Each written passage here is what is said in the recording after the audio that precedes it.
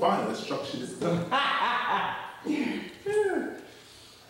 Um, hey, John, let's take a little break. yes. Because Chris is going to be here soon. Because everything moves in this country by way of public opinion. I mean, even if it's wrong, like this O.J. Simpson thing. I mean, he's supposed to be a murderer. He's not convicted yet, but I mean, he's supposed to be this murderer. But as he's fleeing the police, people are cheering him on because they believe that he is this hero, etc., etc. So what I wanted to do was to create a project that uh, appealed to the beliefs of people in America as opposed to the education.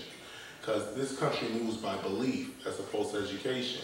Like people are educated on a million different things, but they don't move on their education. They move on their beliefs. Which is also why if you was to say like, you know, on television, think this about Haiti might come up, that about Haiti might come up. That's education, people being fed the education. But they wouldn't move on it. They wouldn't rally around it, uh, you know, do or say something based on this. Uh, it's their belief. And they don't have enough to believe about Haiti to have a belief about Haiti. Uh, they just, it's just, oh, Haiti, that's, that's Haiti, right, exactly, that's it. Uh, whereas if you was to say, you know, Jamaica, you think tourist resort, you don't think about the, the wretched poverty there, you think beautiful island, tourist resort, mangoes, that's belief, graphic pictures. There's nothing to believe about in Haiti at this present time in America, for the mainstream part. So the idea of a record came up. Now keep in mind that the idea of doing music is different from the music business. It is a combination of things. So not only do the average American person belief system uh, lacks a visual, a visualization of Haiti in it, the person, the record company executive is suffering under the same uh, mentality. Doesn't know anything, doesn't have anything, et cetera, et cetera. So originally, first I went to a place called Geffen Records. Uh, spoke to a woman named Wendy there, and she turned the project down. Not that she didn't feel the project, the politics of, she has all these other artists on the project, and uh, she wanted to know what it would be like. No, she felt as though the artist would feel shortchanged if we took on, if Geffen Records took on a project that wasn't an artist, but was getting the attention of being an artist. Because this record that I was, I'm, I'm, thinking about is a collaboration record of many different artists from different genres. So she turned it down. Uh, so then I went over to uh, Warner Brothers and to Virgin Records at the same time. And uh, Warner Brothers uh, spoke to a guy named Benny Medina, in which uh, the first thing he, he said, well, Warner Brothers has to take their share out immediately off the top. Uh, I said, well, fine, let's structure this deal somehow. Um, and let's figure it out. How can we make it work? And keep in mind, the reason I'm even, that I'm even bringing this up is to show you the other side, the politics side. They're more worried about getting a good record than they are about what is actually going on in Haiti and what the object of this record is supposed to be about. They're more interested in just the record itself. So, in the initial meeting, Warner Brothers sort of said, well, we'll, we'll mull over the idea, we'll think about it, uh, you know, we'll have to check and see if we can really do this. Virgin Records said, we'll take it, we'll do it, let's go, let's run with it. Uh, this is a brilliant concept, let's go, let's go, let's go. I fly back to New York. This is in California. I come back to New York. Virgin Records doesn't call me. I call Virgin. Virgin doesn't call me back. I call Virgin again. They don't call me back. Warner Brothers sends a person over here to meet with me, and he says, we're going to take the project, and uh, we'll do it. I call Virgin. Like Virgin, come on, what's up? Can't, you know, can't get anybody on the phone. It's like they're avoiding my calls. I said, okay. So let's go, Warner. Warner Brothers. I call him Bugs Bunny. Said, let's go, Bugs Bunny. Uh, let's do it. And so the project as it stands now appears to be going through Warner Brothers. Appears. And I say appears because nothing is finalized until it's on paper. Right now, we have great commitments from uh, the heads of, these this company. Uh, their major thing is who can really come to the table and play the game, the artist wise. I have a list of artists that signed on to Artists for Democracy in Haiti. They want to know who can really come on and be a part of this. So the other issue comes up now. The other issue is number one, who does the audience listen to the most? Who is readily accessible to do this project? And where does this project actually go? The first thing, who does the audience listen to the most? It's a cross right now between alternative music, alternative rock and roll as they call it, and rap. The alternative bands are all on tour right now. The rap bands, some are on tour. Others are hanging around in New York, et cetera, et cetera. Because my power is in rap music, it's easier for me to put together a rap compilation. I can do that in two weeks. But the alternative side, which will make the record a more broader record, appeal to more people, is the headache side because they're here, there, there, there, there. The artist might want to do it, but the lawyer might say no. The lawyer and the artist might want to do it. The record company might say no. The record company might want them to do it, and the artist might say no. Too many people involved. involved. So all in all, and again, I'm bringing this up again because once again, we haven't said anything about Haiti or the original concept of the record itself. This is just basically the music business trying to get this record out and done. So I met with uh, two esteemed colleagues of mine, uh, Diana Choi and Dweej. And uh, did I pronounce her name right? Edwige. Edwige.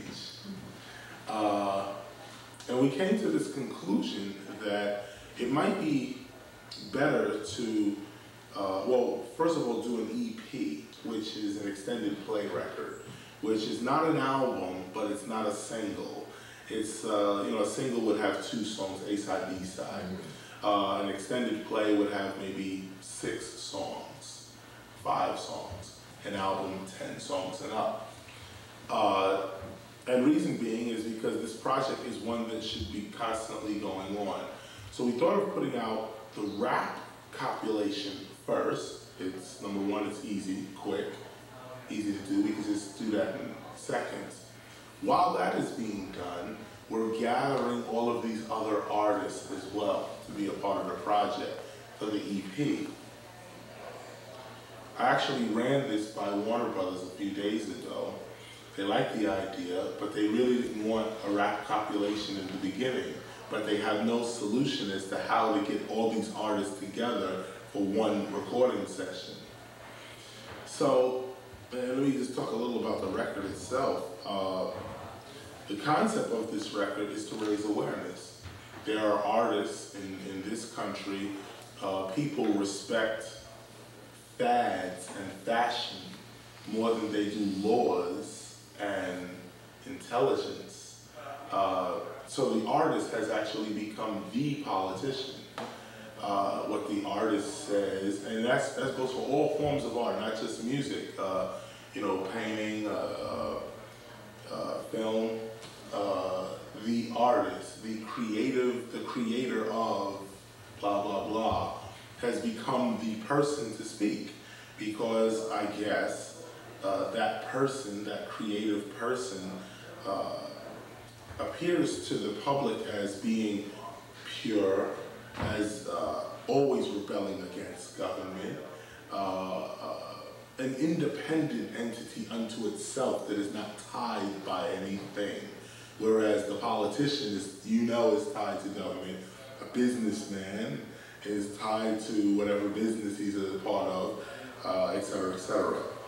Uh, so, this is where the project, where we're at right now, putting it together as a record, getting certain artists together.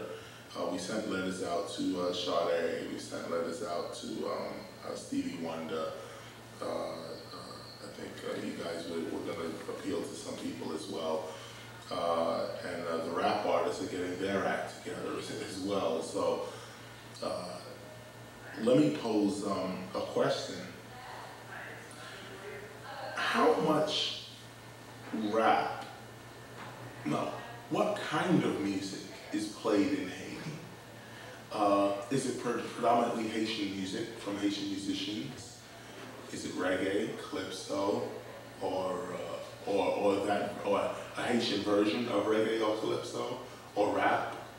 Uh, and the reason I ask is because when we do the EP, we don't want to do something that is, you know, totally Americanized. We want to do something that appeals to the people in Haiti as well. Uh, and might even, and maybe even bring the, those artists in on the project as well. Uh, what, what kind of music appeals to the Haitian people on a broad-based level? Well, it's, it's, it's, there's, there's a very, very, very, very vital Haitian sound. Sometimes it's called compa.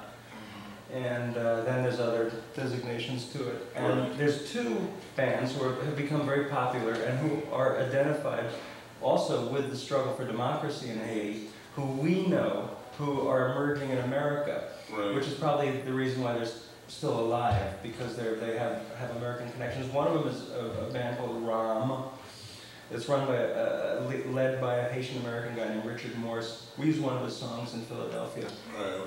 The other band is the great Boukman Experience, which we've worked with with videos. Right. They're con- very connected, very active in America as well. These two units right away would dive in. Boukman, because they travel a lot and tour a lot up here, more than Ram, which is still kind of struggling, could get real involved. There's also a guy named Manno Charlemagne, who you've seen in some of the documentaries, he's a solo singer, Oh, beautiful okay, voice. okay, okay, yeah. Manno's in exile. He lives up here. His stuff is just his stuff. You know, it's like in his own. He's like a balladeer. Right, I don't know right, what right, right. You can't.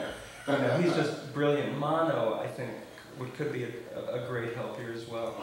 But I want to tell you something interesting in response to that, and it's why you don't want to get too non-American. Right. You know, there's a song that I heard the first time I went to Haiti. I heard it on the radio, and I was shocked because it's a song in English, sung very fast. It was on, um, uh, uh, might have, in fact, I think it was probably on Radio Haiti, Jean Station.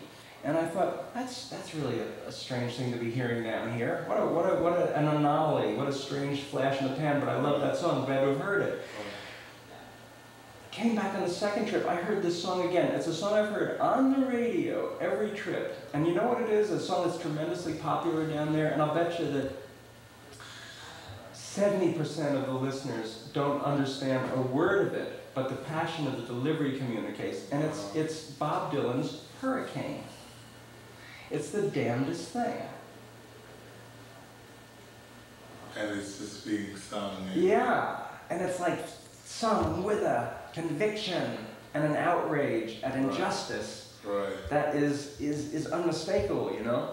So um, interesting. Yes, yes, Interesting. very. Incidentally, um, I- I'm confident that that Mr. Dylan would contribute Yeah. some lines, and I'm confident. I bet you anything Neil Young, who's not on the list, I think Neil Young would come in. Right. And I think if you get one of those guys from that community, well, you know that. Yeah. The others will. Yeah. Neil's doing it. Right, right. Listen, lawyer, listen, label. I don't want to Right. Be out on that. By the way, uh, someone else that might be good to talk to is little Steven, who, Yeah. because he just kind of masterminded that whole Sun City thing. yeah, yeah. yeah.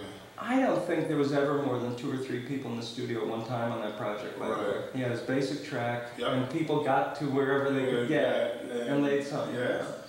Down. Um, he'd be great to meet with Chris. He'd give you phenomenal advice. He might even help out a little bit, Right. you know, behind, and he might do like he could. He might bring Bruce Springsteen in, Right. um, and maybe some other people like that.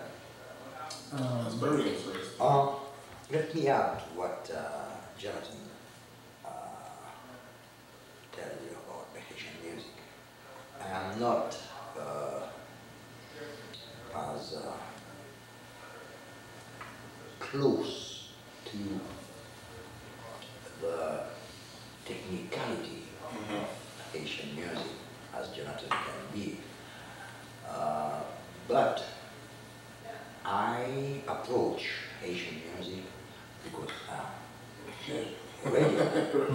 I am the owner of uh, a radio station. But also uh, because of this musical aspect of the reality of Haitian culture. And that I would like to uh, tell you. Uh, when Jonathan mentioned compas, he said compas. He could have said merengue because uh, they said merengue in America, they say merengue in Latin America, but we say merengue. We say merengue. What, what is that merengue? Merengue is a very one, two, three dance music. Mhm. One, two, three. Come on. One, two. Dance music. Right. Right. It's a dance music. Changing from band to another band. Very easy, very simple, very elementary Right. dance music. But having been for years the, the support of dancing, Mhm. because in Haiti we love dancing. But the second characteristic of merengue or meringue or compas is that it was an elite way of singing and dancing. Elite, that means the bourgeois, the townspeople, the people living in town, the more than $600 a year revenue, Mhm. okay? The people who went to school, people speaking. French, okay. Otherwise, there is another music. And this music has been for years, for centuries. Apart from the meringue tradition, the compas tradition, the big band or orchestra tradition, the orchestra who played in well-to-do businessmen salons or parties or nightclubs. Right. Has been this tradition of music around the drum, the tambour. You know our, our drums, cones of wooden topped by a beef skin or goat skin.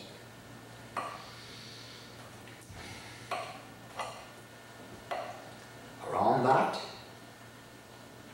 you have the vaccine, which is a big fruit of bamboo, but not the fruit you know. No, it's uh, The right. sound, ting Mhm. vaccine. You have also the manibula. Manibula, I explain later. Two or three simple instruments. Mm-hmm. And the music around that was created, invented, enriched by the poorest people in the world, the peasant, Mm-hmm. the Haitian farmer. Of course, first for their worship of first. First, that was the music. And immediately for their entertainment. Mm-hmm. Because as everyone in Haiti, everyone loves dancing. Case, there will be two music. Separate and non-equal. Mm. Separate and non-equal.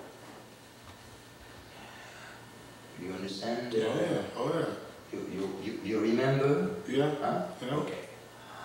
I use those word, words uh, because of the similar situation in Right. culture, Okay, similar apartheid Right. situation. okay. And this music was not that simple as the bourgeois music was simple. One, two, three, one, two, three, one, two, three. This music was more elaborate. Because this music was son and daughters of music who made the trip between Africa and Haiti. They made the trip. They made the trip. They survived the slave holocaust. they survived. It's the remembrance of all the tribes of Africa where we came from. From Congo,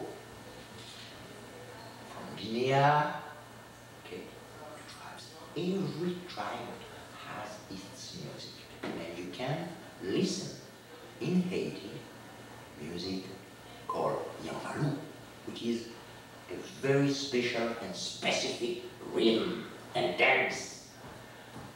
And the Yanvalou went back to Dahomey, where part of our ancestors came from. You have Congo music. You have Petro music. Understand? Mm-hmm.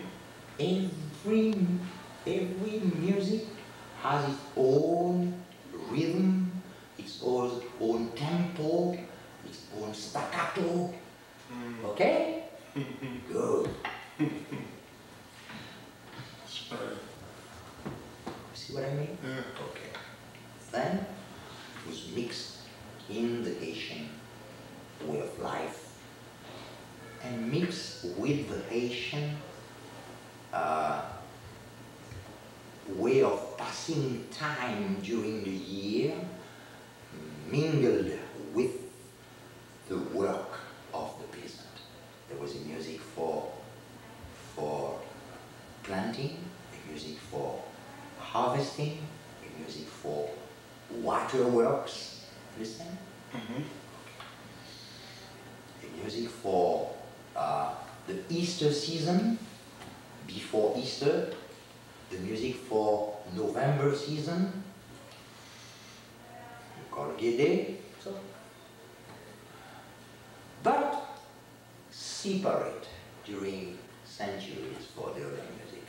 Then, 50 years ago, somebody's discovered that there was something to listen to. And for years it was this very, very painful approach of one music by the other. Okay? Painful because you can imagine the snobism of the bourgeois, mm. thinking that those people did not know music. Only we as people without one, two, three. Mm-hmm. stupid. Not stupid, that's not true. Yeah, no, right. One, two, three, elementary. Right. Okay? Right. Okay? Yeah. Then people more open, people freer, Right. start to listen, start to understand what was happening down there, and they start to and be impregnated by it. This, this process was inside the whole process of at last discovering what was going on in the other country that exists outside the small country of the elite, the country, the other country. We discovered Creole because we thought for two centuries that we were a French-speaking country. Yeah. We were not, we were a Creole-speaking country. We discovered their paintings, Right. we discovered their religion. We thought that we were Catholic, we were the son of Jesus, Mhm. and we discovered that we were son of Esudi, we were son of Petro, we were son of Dambala, we were son of Ogun, and we discovered that, and so forth and so on. So there was this painful process of a meeting between a tiny elite and the mass of the people with the whole culture they were uh, they were uh, uh, uh, de ta beauté, de ta beauté they were carrying for centuries. Okay? So you have two music, two musical traditions. And the, the group uh, Jonathan mentioned, Ram, Boukman Experience, they are the fruit of this meeting. Not only the old meringue tradition, but now, to answer your question, all the, the American tradition, all the jazz, the rock and roll, all, let's say, the sophisticated approach of doing music mm-hmm. with the help of the Western musical world Right. but with the guts of what you, African American, have taught the black, the white American, Right. doing music with your guts and merging it with the white musical tradition. You understand that? Yes. We inherit that, and now in, in Haiti you can listen to uh, all kind of uh, American uh, popular pop music. Right, right. That's it. But from time to time, Haitian say, hey, there is something to learn, but also something to instill, and that's Boukman Experience, who won uh, two years ago a, A Grammy. A Grammy Award. Yeah. Well, you know, 'cause by the way, I could have given you that long version too, you know, that John gave you, but I, I thought you wanted a short one, you know. So that's uh, phenomenal because suddenly it sounded like he was giving a style I, actually, I went there. Is a to the Grammys. no, no, no. Oh, to, The hit, the vibe that he was giving. yeah. I was. I started hearing. It takes you there. I can see why you're into radio. That, that, that rap also made me realize that, you know, the Neville brothers, because, you know, we, we, you know, do you, do you have our Konbit compilation of Haitian music, Jean? Do you know about that project? I've Gotta give you one. We- It's a sampler, great, right back from, from, uh, from uh, mini jazz up to through compo, and even with some rara, like Group Fula, I think is on. Yes. But it's a great thing. But but the Neville brothers got involved in this project. Cyril Neville, who you know which one he is? The, the, the one with the hat. Cyril's the dreadlocks guy. Yeah, The the one Rasta that's man. like, uh, yeah, right. Yeah. Well, Cyril and, and his brother Charles, who's the saxophone, Right. we went to Haiti. They're deeply into the drumming thing. Oh, yeah. Deeply already. They can become a linchpin for you of this project. They can like permeate it. They did a collaboration um, with uh, Les Frères Parent. Wonderful, wonderful um, uh, Haitian singer-songwriters, brilliant guys. They're both, anyway, I'll tell you about them later, but they're great. And they did a fusion. They took um, a, a song um, that uh, Les Frères Parent had written for the collaboration Right. Flew in their own stuff, and I kept going like nothing happened until they got in the studio in New Orleans. Went into uh, to uh, Sea-Saint Studios, Okay. and I kept saying to Cyril, "Well, like, aren't you gonna write an arrangement? You know, Yeah, right. don't worry, don't worry." Got in there. They didn't speak Creole. Les Frères didn't speak much English. They got in, and when you hear this thing, it's phenomenal. Then we went down and made the video in Haiti. and we went up into the mountains and uh, up to Malik. And in fact, when we were making the video, there was a coup, a military coup against Avril. Got stranded. There was a whole great deal. But Cyril and the Nevilles, and of course that brings Aaron in, Right. and Aaron can bring others in. They should get signed up immediately because they could really, you know, help just in a million ways. Right. Um, so anyway, this and what they they're great at that thing because because it's true. How can I feel like such a, a jerk? I give the popular music answer, and of course that roots music because that's very. It's also it's the music of the soil, but it's re- and the history, but it's religious too. I mean that's so Yes, voodoo, isn't it? It's tremendously the spirit on that level. So that could be a great, great Yes, dimension. but uh, Richard and, uh, and the Boukman Experience, now they listen to this music Mhm. And they try to absorb this music, Mhm. these rhythms.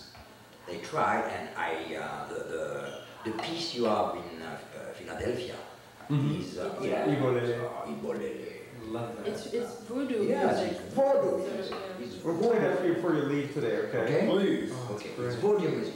And uh, the Boukman Experience is uh, much more because uh, they have a way of uh, of feeling the drums, but without, as they as people did in the past, without putting the whole vibration around the, the drums.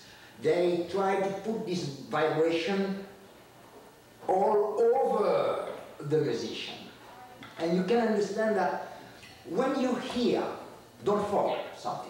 Right. When you are going to the Haitian popular uh, people's music, this, Right. don't forget that the beating of the drum, the drum beat, can make you possessed by God, by the gods, by the law, Right. basically. Right. Okay? Basically. Of course, uh, you are westernized. Yeah, right. Okay, of course.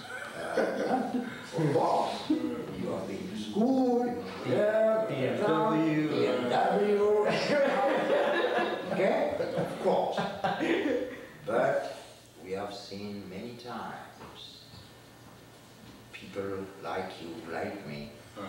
spending a night in a place where there was drum beats, drum beats, drum beats, hours, suddenly,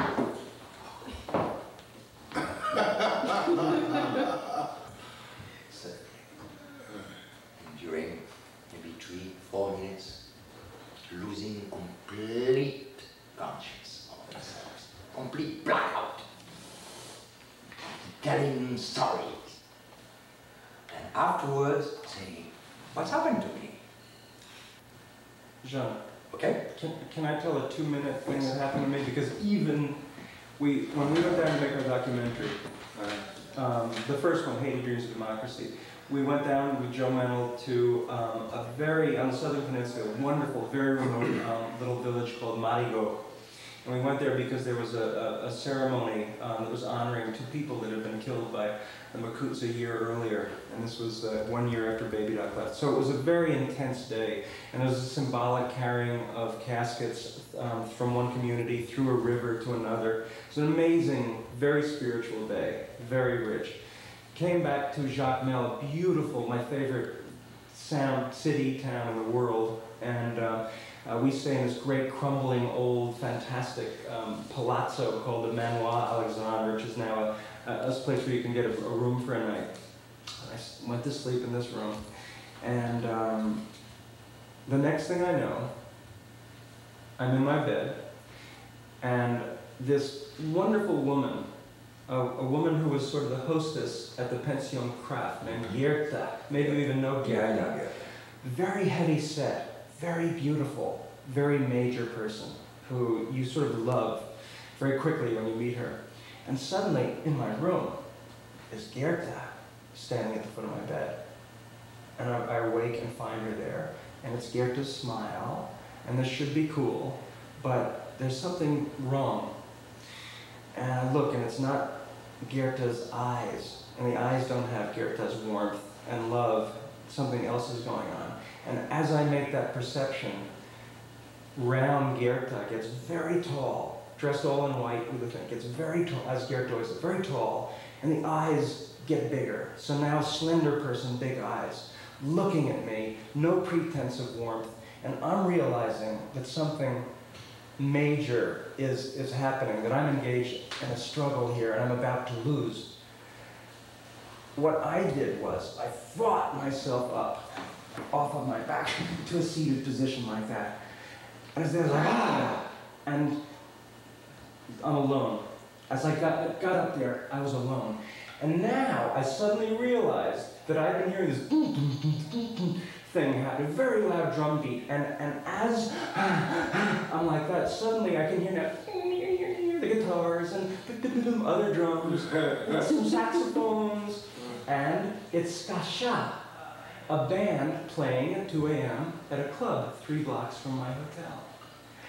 And one of those tambulines had come inside, I don't know why me or what have you, but I had my own kind of experience like that. And it was wild hearing the other sounds come back and not having even heard the drum until I realized I was being deafened by the drum during the struggle sit up. Uh, So there's something I fantastic story. I'm a, now the next morning I tell my my Haitian friend Regine Fabius at breakfast the next morning we're sitting I come out now so we come out I said Regine last night uh, I thought I saw Gerda, but it turned out to be someone else. And then I heard the drums, and, and, and she goes, Were you sleeping on your back?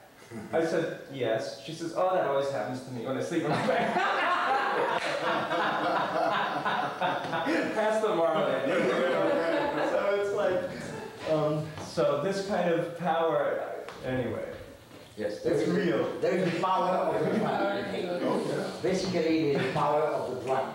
Yeah. It's a musical uh, aspect of our culture, but it also beyond music.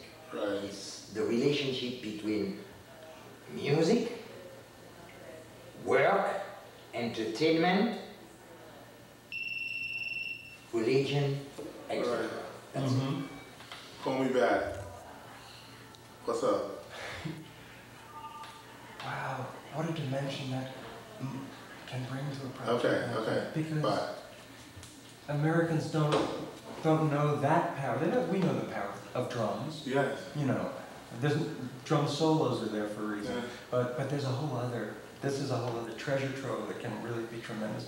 By the way, um, Chris, another person, just in terms of influences. But and I, before- Oh, oh, before. sorry. YKRS. Uh, It sounded, it sounded like Chris. yeah, yes. It is Chris. Yes, yes. It uh, originally when I was um, when I was ten years old, uh, I had this realization about myself uh, that uh, it was um, I had a I don't know in America you call it a nightmare, but in every other culture it's more like a visualization. It's more like a it's, it's just it's, it's like the state of knowing that you're asleep but you're awake in your dream. And uh, and I woke up one one day in my dream, and uh, I was surrounded by a whole bunch of bugs. It was like it was all these insects on the wall. It's like insects, every kind of imaginable insect you could think about. I was stepping on them. I was moving them out of my face, etc., etc. The dream made absolutely no, to this day, it, I still couldn't figure it out. What happened was when I woke up, uh, I woke up and the room was empty. I ran to my mother, I said, why, I mean, did, well, where are all those bugs? What happened to all the bugs that, that were in the room? She said, what bugs? What are you talking about? You know, get out of here. It's time to go to school now. Let's go. And what, what happened was, uh, I kept hounding her about these bugs and then what, what had happened, et cetera, et cetera. So she had, um, she had told me about this. Uh, my my middle name is Chris. C H R I S. Ah. But she, I, she had all these books about other religions, et cetera, et cetera. And the ancient Egyptian way of spelling Christ was K R S T. uh, and the Americanized way, of course, is, is K R, I mean, it's a C H R I S T. Uh, Krishna is K R S N A. Uh, and so what, what happened was um, I had left home about three years later. I was about 13 years old. I had left home. And I started to really get in depth into this whole Chris thing, Christ thing, Chris. And uh, I bumped into a, a guy in the shelter.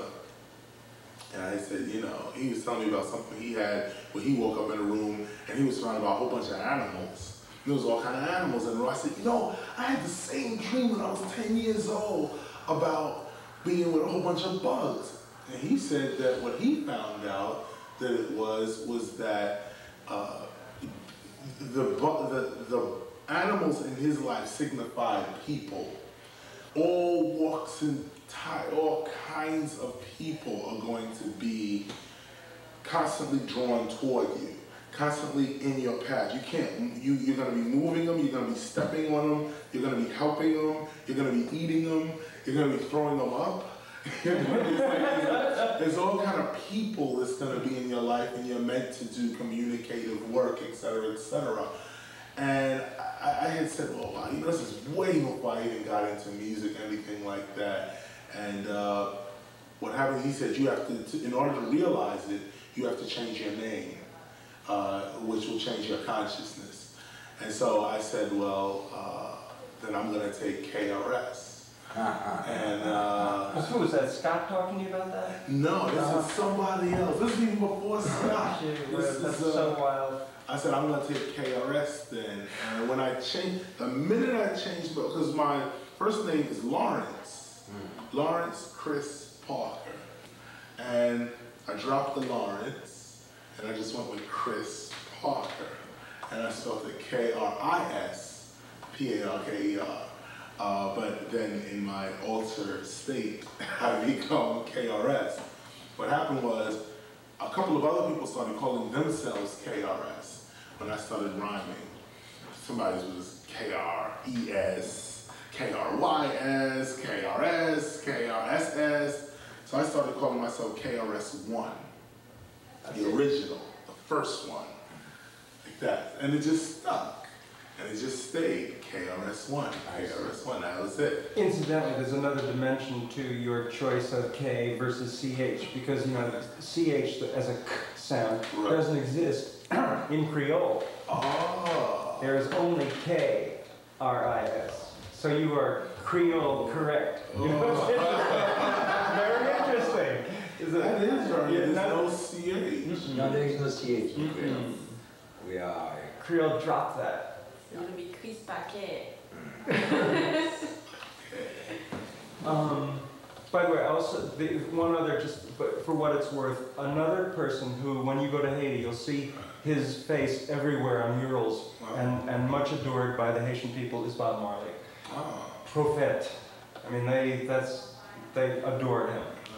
And again, it's interesting because to what extent do they understand the lyrics exactly? Yeah, right. Mm, yeah. But they understand the, um, you know, the, the, communication of the vibe is intense. That's that's what music is uh, is is all about. I mean, that's that's what it is. It's not some the the words are like uh, is like the thing that it, that the vibe travels on, uh, but the the vibe, man, it, it's it's. Uh, there's a, in hip hop, there's a, there's a trance that most hip hoppers go into, which is called a flow. Some of them know they're going into it, some of them don't.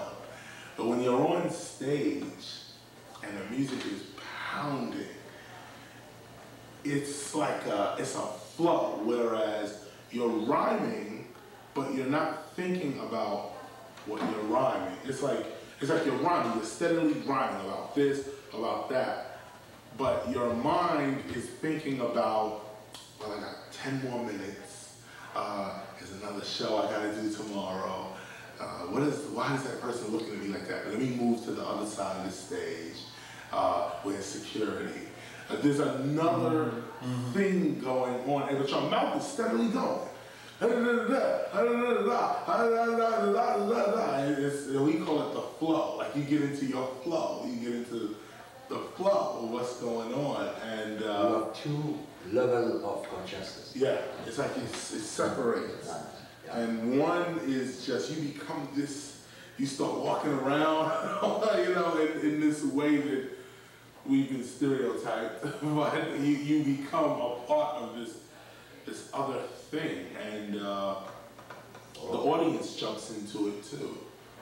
Uh, the, the the audience gets into it too, and it, and it uh, the only thing with, with hip hop is it after a while it loses control Oh, it loses control. When, it, when the flow gets good, it just, the audience becomes one with the rapper. And if the rapper is not saying something of, of relevance, or if, he's, if the rapper is just saying anything, it lose, the whole place loses control. And it's like, that's how you get into these, these fights and riots and this, that, and the other. But if you can control an audience, like if you're saying something that has to do, like you know, you, your your your vocals is directing their movements. So like when we say say ho, everybody goes ho. That same energy can say move to the left. They'll move. Move to the right. They'll move. Go back. Go forward. It's, like uh, a group by the name of Naughty by Nature uh, did it brilliantly with this record um, called Hip Hop Hooray. And it was like, they used to go, hey, ho, hey. And the crowd, it- it's, just, it's this vibe that people just start going, go side to side, whole crowds of people, hey, ho. But, they, but they're able to control it. Like you, you take it to a level, you bring it down, and then you stop it. Some people take it to the level and they say, all right, bye.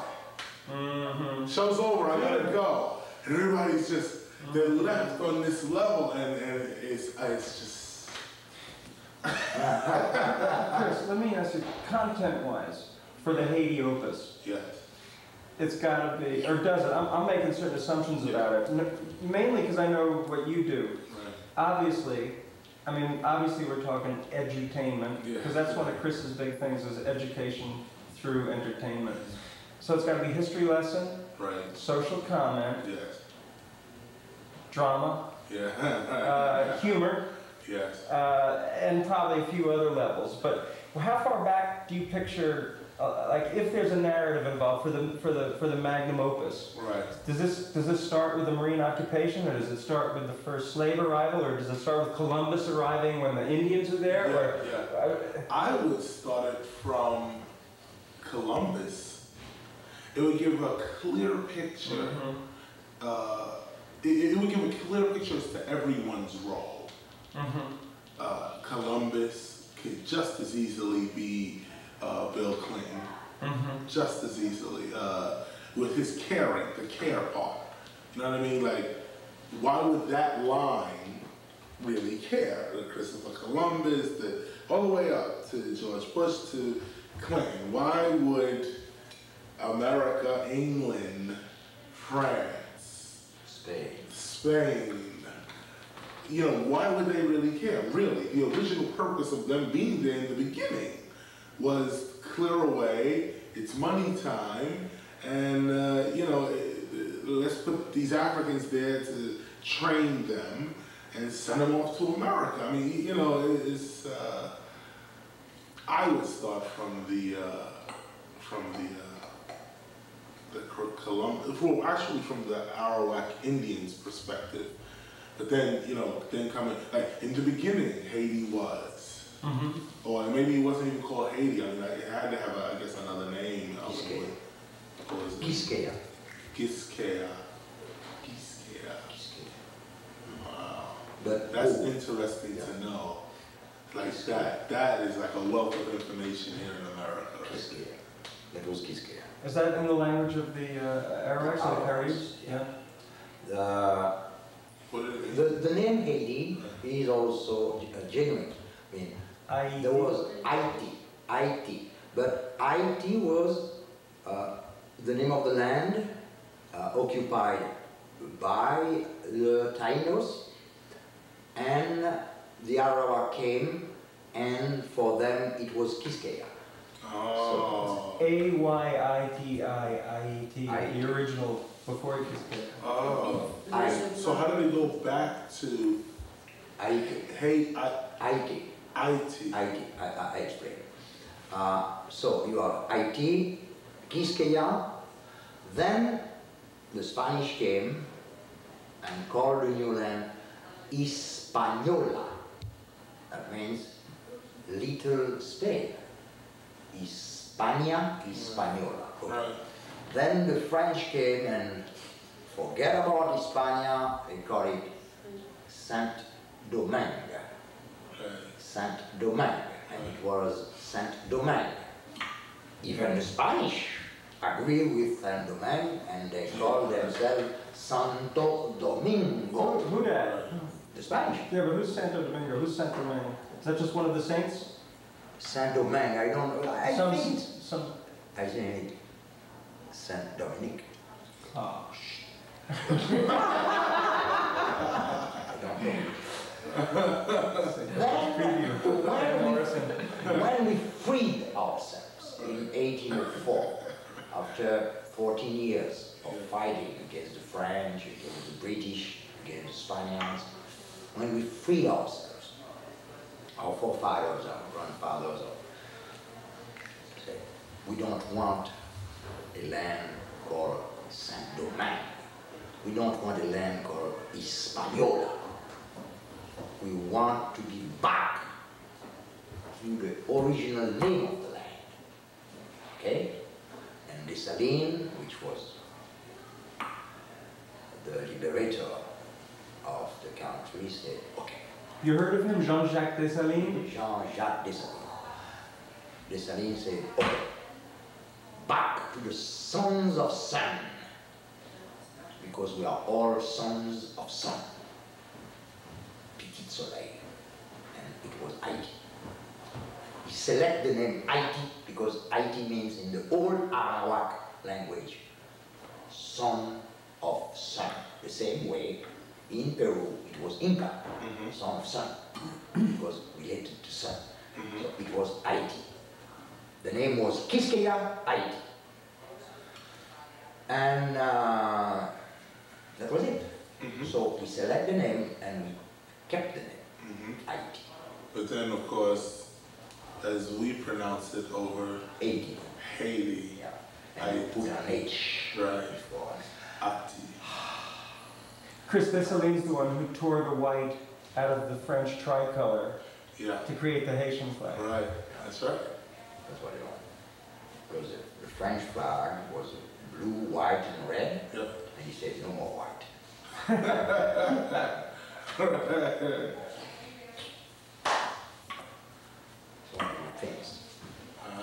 There's a great character that I wish to tell you about for the early uh, Native American days. So what's her name that, that you love so much?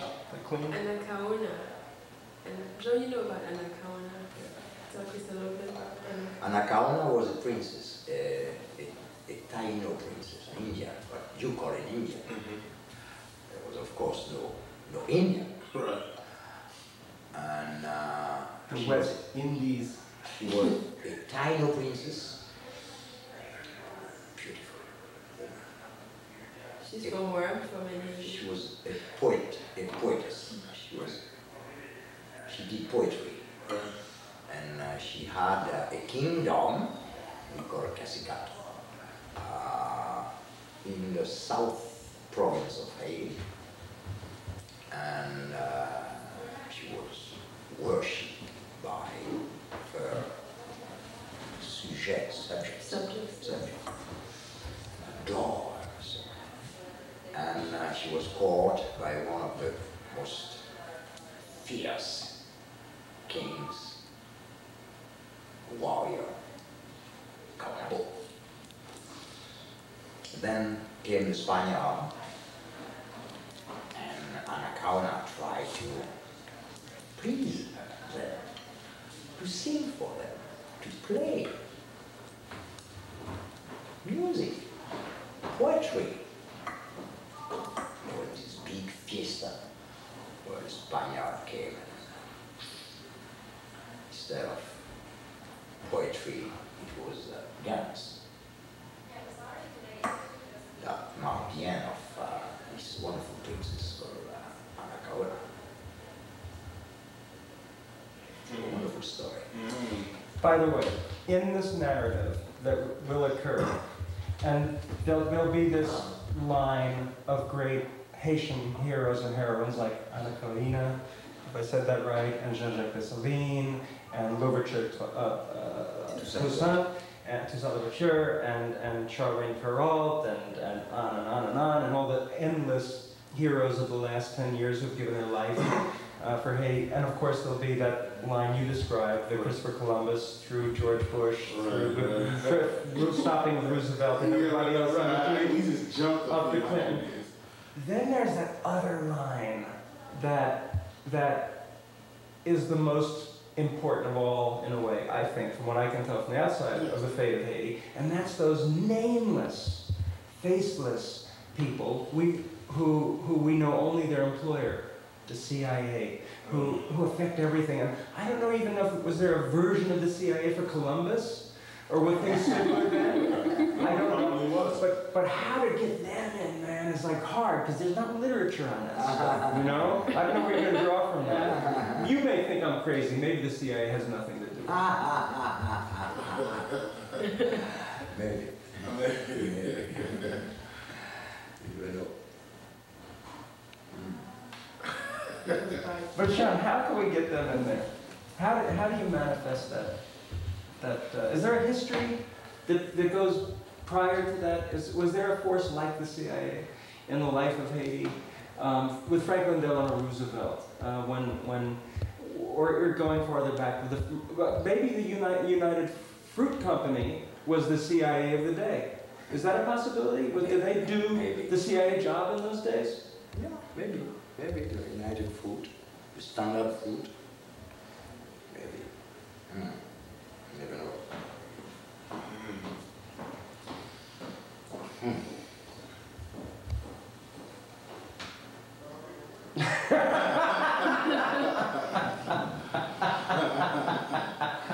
Ah, yeah, yeah.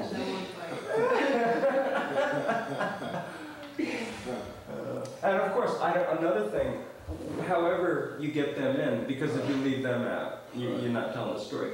Then there's that other force that has been there, Right, actually, and that's the embassy, the State Department. yes. Um, and, and, and there's, I mean, Chris, you must have theories. Forget Haiti for a second. It's all over the world. It's in this country. Yes, I, I know there's this thing, the National Security Council, and I know they make foreign policy, but I used to, when in school, they told me that the State Department made the foreign policy, and I don't know who's telling who that. Is the CIA working for one or both of them, or, or are they working for the CIA?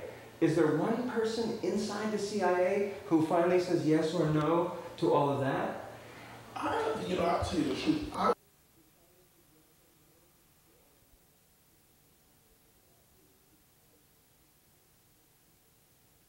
felt as though that a big business. I always felt as though that agencies like the KGB, the FBI, the CIA, uh, the,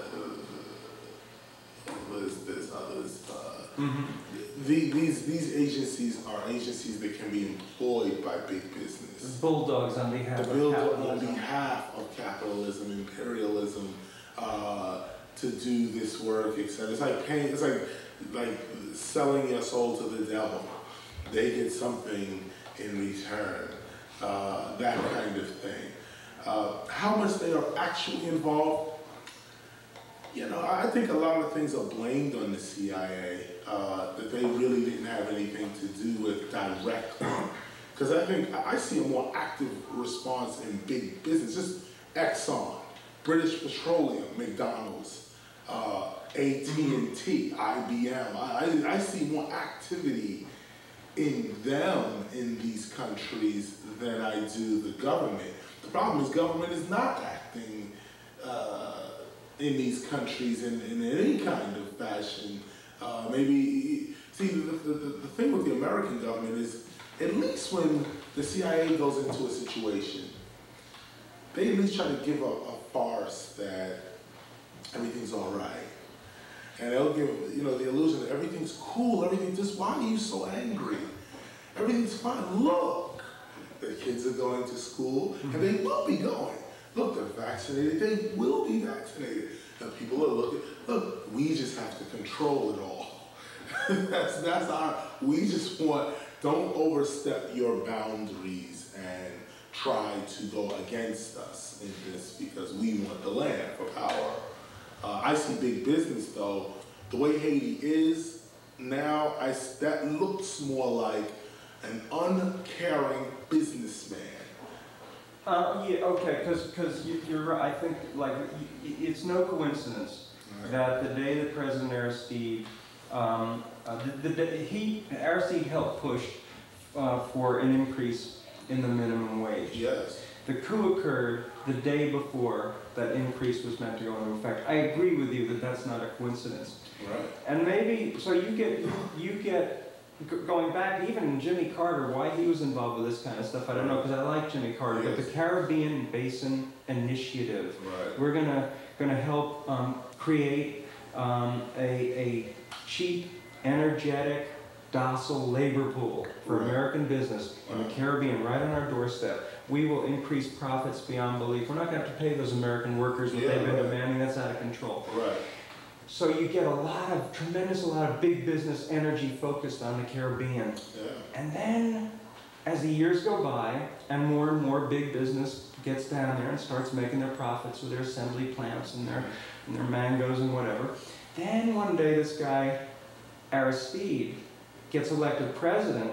A leader gets in president, and he's not friends with big business. He's not friends with the U.S. State Department. And he is now pushing for labor, creation of labor unions. He's pushing for increase of minimum wage. He achieves increase of, now that's a moment where I, now I can picture the CIA guy. And I don't know who, what his, how he got to this moment Right. at the bar, at the hotel in the Capitol, and he's telling someone, this guy's gotta go. He's, he's, he's hurting America, he's hurting capitalism, because if he can get the minimum wage increased in Haiti, the shithole of the hemisphere, you don't think the workers in the Bahamas and in Belize and in Yeah. Mexico, they're not gonna say, hey, wait, if the Haitians got it, we gotta get it. So Right. Aristide is, is Clinton with his free trade thing. Yeah. Yes, all the presidents want to be right, the big Yeah. business. They'd rather have that than have everybody have a home. Right. They'd rather see big business Right. prospering. I still, I, I swear to God, I, I don't get it. Yes. But it's true. So, but the CIA then then becomes helpful. They they somehow become helpful, and uh, whether or not they, you know, they've been accused of of uh, of guiding, um, Right. you know, the Haitian military and providing them with foolproof.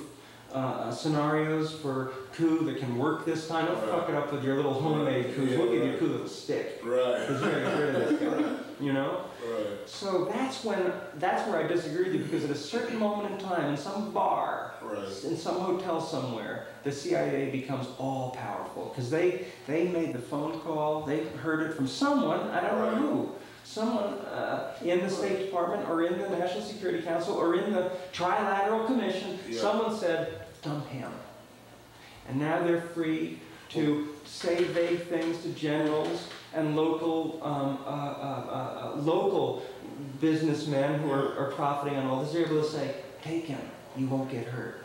Take him down. Well, those people, I think the one who would actually say that, we probably will never meet or be able to see. Uh, and I don't know if it's one person. I, I don't.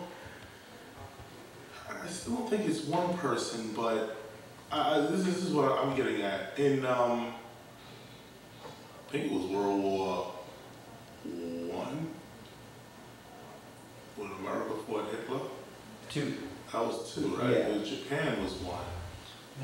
One was Germany, the first time around, the Kaiser. Right. Two, Hitler, and Japan. And Japan. Okay, that's what's confusing. That's not like the Italians of Right. right. No, World War II then. Yep. Uh, it, it's, it's a historical fact that, that um, Rockefeller owned a owned oil, owned a lot of oil uh, plants here in America, and sold oil to the American military as well as the German military.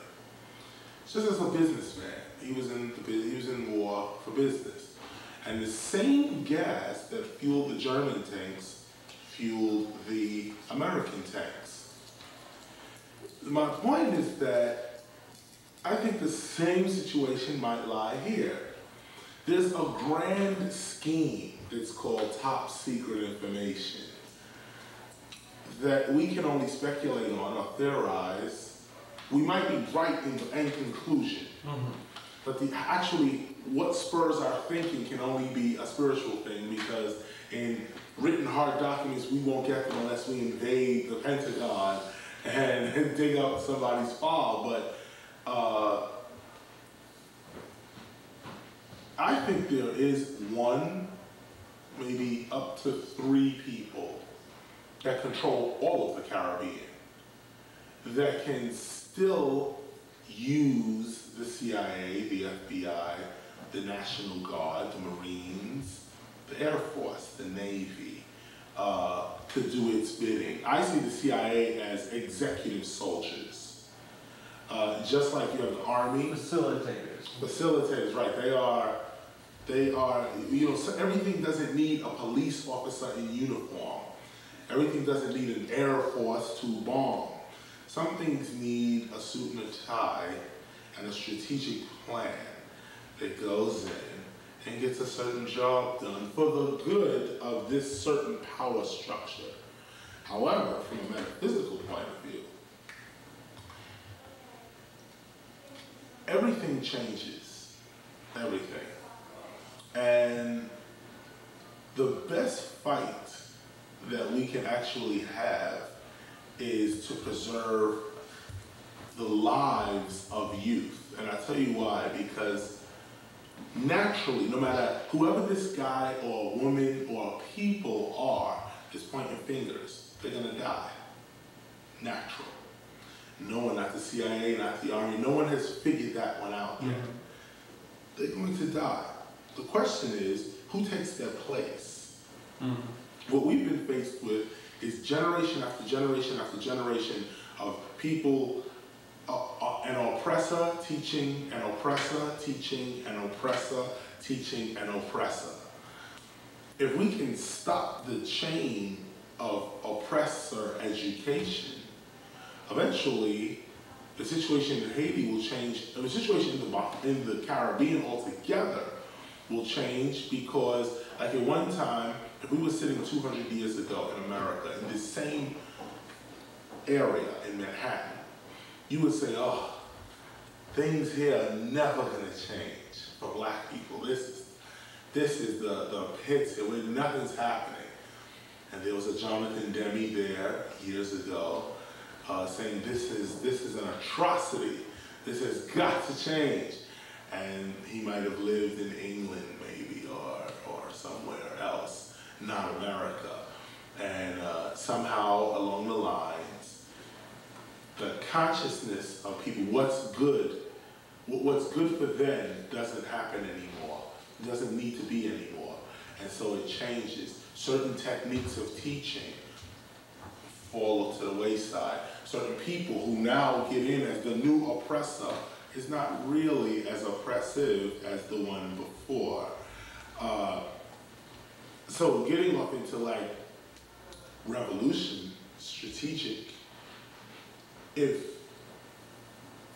if youth are constantly killed, oppression continues because no one replaces the oppressor when he or she dies.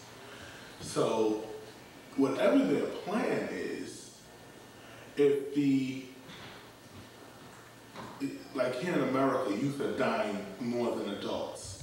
that's an atrocity. That's like youth would say, like you see on the TV every day, oh, is this about youth dying of gun violence? And we just go, mm-hmm. oh, it's no big deal. Mm-hmm. Well, it is a big deal. It's a big deal for the world because some, some of these youth, if a hundred youth die a day, one or two of them might have been the one mm-hmm. to go into office to change that situation there. But if youth continues to die, oppression continues to live. And one thing to keep, I think the battle would be, if it is the CIA, Army, et cetera, et cetera, they have children themselves. They have people they're educating themselves. Now, you are this, you are mm-hmm. that, you are worth this, you need to have that. And the one thing we have in our favor is the fact that youth is always rebelling against their parents. So this is why I think at another level why a lot of Haitian youth are dying. Why Oh, youth for sure. period are dying because that's that's the winning game. If we can implant an education or a program that enhances the lives of youth, where they are able to live to reach an age where they can become the oppressor, then we can see a concrete change. You're right.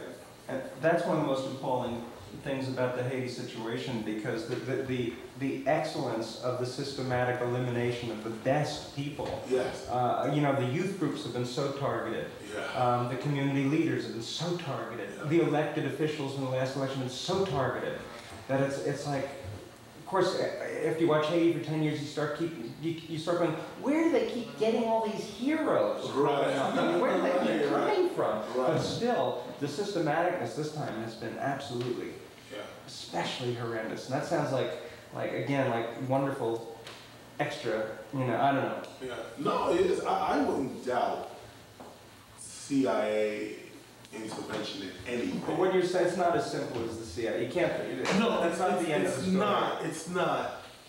I still think they're paid, or got some something in it for America. Something, but not even America. I don't even think they're down with America. I just think they're down with another clique. Mhm. They're a part of somebody or something else that doesn't have America in mind. Doesn't have none of these countries in mind. They have the world order in mind Mhm.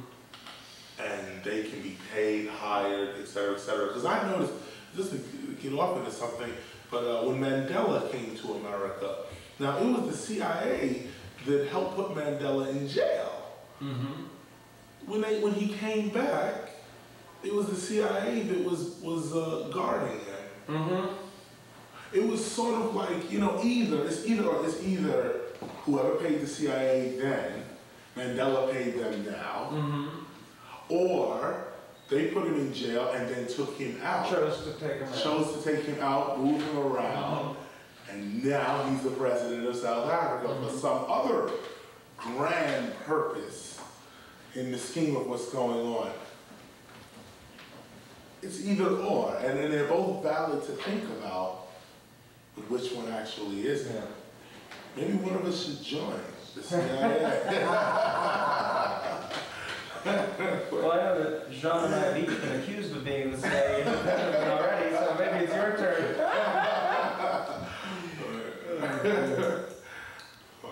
Are you guys hungry? I bet we might have some. Yeah. Oh, good. It's ready? Yeah? Good.